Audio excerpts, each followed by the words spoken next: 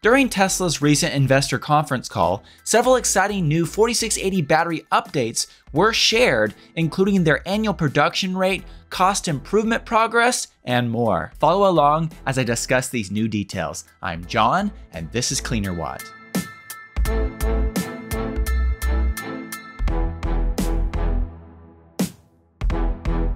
Here at the beginning of the video, I want to say thank you to all of those of you who support me through Patreon. But I also want to say for those of you who cannot financially support through Patreon, maybe that's not an option for you. If you purchase items from Amazon regularly, I'm going to put an Amazon affiliate link down in the video description. If you purchase any Amazon products using that link, Amazon will give me a commission at no extra cost to you, and that will help support this channel. So that's just one more way that you can support this channel by just clicking that link when you go to make your Amazon purchases. With that being said, let's move back to the video content. In March, through their Cybertruck X account, Tesla shared that the production team at Giga Texas was able to produce enough 4680 batteries for 1,000 Cybertruck battery packs in a single week. This is something that Lars Moravy discussed in Tesla's most recent investors conference call, when he made clear that since Q4 of 2023, Tesla has improved the production of their 4680 batteries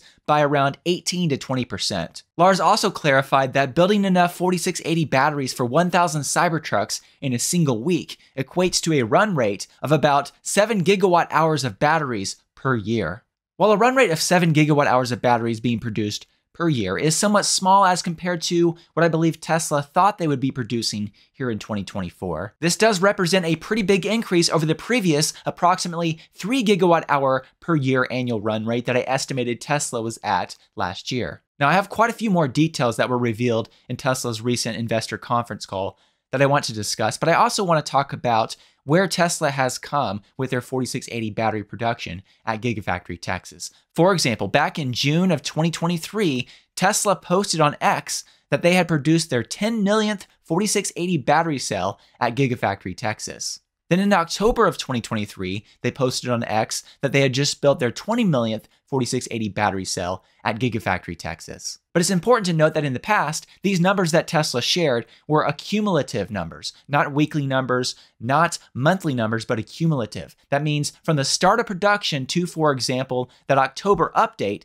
Tesla had produced a total of 20 million battery cells or so. So whereas those past numbers were accumulative, the numbers that Tesla recently shared here, these are weekly and annual run rate numbers. So once again, in a single week, Tesla was able to build enough 4680 batteries to build 1,000 Cybertrucks. That of course equates to enough 4680 batteries to build 52,000 Cybertrucks per year. And if you break that down even further, based on some basic approximations, that equates to around 1.36 million battery cells being built per week or over 70 million 4680 batteries being built per year. So, in perspective, Tesla improving their run rate to 7 gigawatt hours of batteries per year is a very good milestone. Now, a quarter over a quarter increase of 18 to 20%. That's a good increase, but I believe that number is going to be even more substantial when you move from Q1 of 2023 to the next update in Q2 of 2023 during that investor conference call, because it's important to note that in Q4, Tesla switched over one of their production lines from Gen 1 4680 cell production to their new cyber cells at Gigafactory Texas. And of course, that had to lead to some downtime for that production line, and then you have to ramp that back up. And in addition to that, during Tesla's Q4 2023 conference call, it was made clear that they were only running one production line for regular production, two production lines for trial production, and the fourth 4680 battery production line was in commissioning. Now, based on information revealed in Tesla's most recent investors conference call, they apparently have three lines producing 4680 battery cells at Gigafactory Texas because Lars specifically made clear that they were ramping the third of four production lines. And as a reminder, phase one of the Gigafactory Texas cell production facility is to have four production lines, and they're going to have a second phase with four more production lines. So I read this to mean that the two trial production lines that were mentioned in the Q4 2023 investor conference call I believe those are now producing regular production now and not just trial production. So, three production lines producing batteries right now, and that fourth line is apparently still in commissioning. Next, Lars shared some important cost improvement details for Tesla's 4680 battery production. Lars said, quote, "Because we're ramping, COGS, which stands for cost of goods sold, continues to drop rapidly week over week, driven by yield improvements throughout the lines and production volume increases. Lars went on, so our goal, and we expect to do this, is to beat supplier cost of nickel based cells by the end of the year. Now, I want to make sure that we don't brush over this. This is actually a really huge piece of information that Lars revealed. By the end of this year, Tesla is aiming for the cost of producing 4680 batteries to beat the cost of batteries they're buying from their suppliers. This means that Tesla, by the end of this year, should actually start benefiting from the cost benefits of producing batteries in a very efficient way. And this is something that they talked about once again back in 2019 at their battery day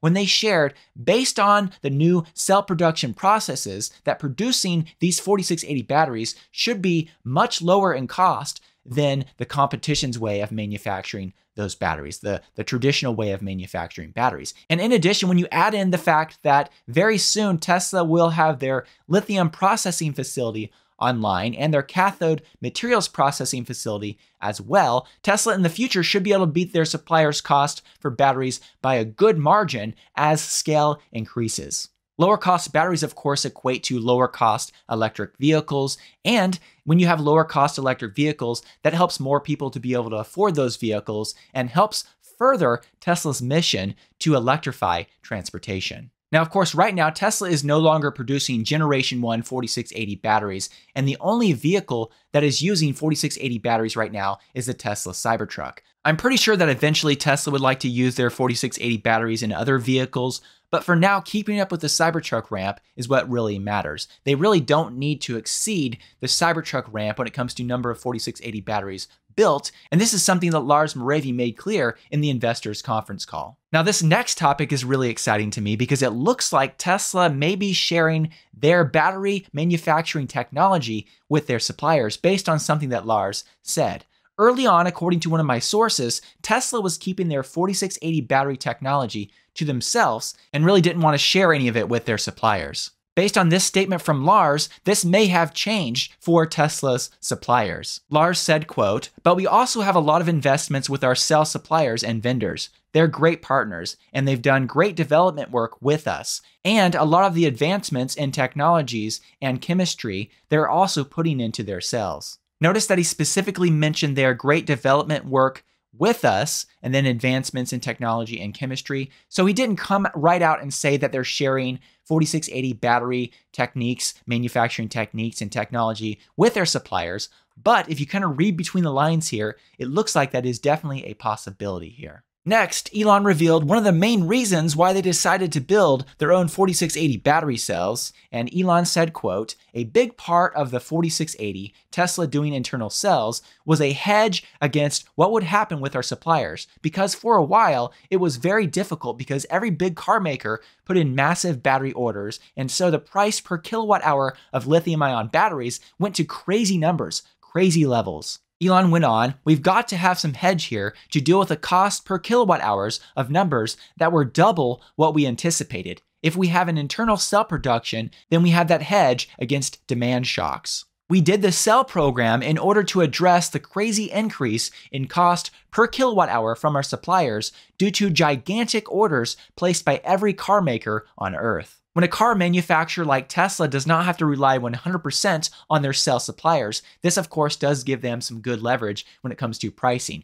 because the cell supplier knows that if they raise the prices too high, Tesla will just decide to build their own battery cells. So that does help keep a ceiling on the price that they pay to their suppliers. This was a good, smart way that once again, under Elon's leadership, the Tesla team was looking far into the future and really hedging against future cost increases and setting themselves up to have more control over cost and supply. During that investors conference call, Karn, who is the VP of supply chain at Tesla, also mentioned a big side benefit of Tesla producing their own batteries when he mentioned, quote, What 4680 did for us from a supply chain perspective was help us understand the supply chain that's upstream of our cell suppliers. So a lot of the deals that we struck for 4680, we can also supply those materials to our partners, reducing the overall cost back to Tesla. So that's also been beneficial in reducing the overall pricing in addition to the excess capacity that these suppliers have.